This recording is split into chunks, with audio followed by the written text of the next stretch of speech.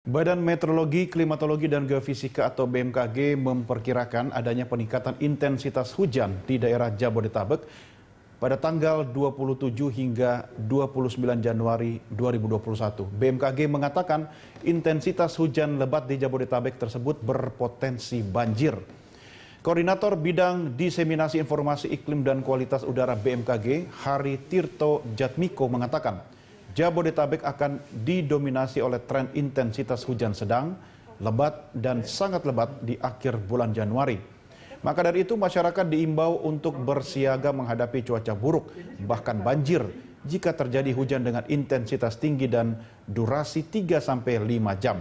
Hari mengatakan prediksi ini sudah dikeluarkan BMKG sejak minggu lalu mengenai hujan lebat di tanggal 24 Januari 2021 yang mengakibatkan terjadinya genangan di Jakarta.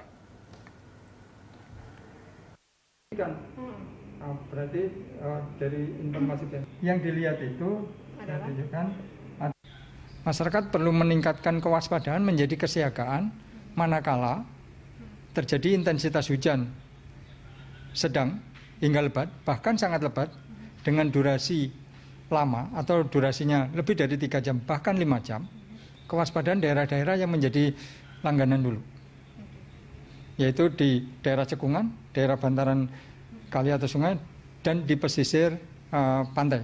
Di mana kalau di pesisir itu berkaitan dengan kalau periode itu ber, uh, bersamaan dengan kejadian pasang surut air laut tidak menunggu, menutup kemungkinan akan meningkatkan ketinggian genangan.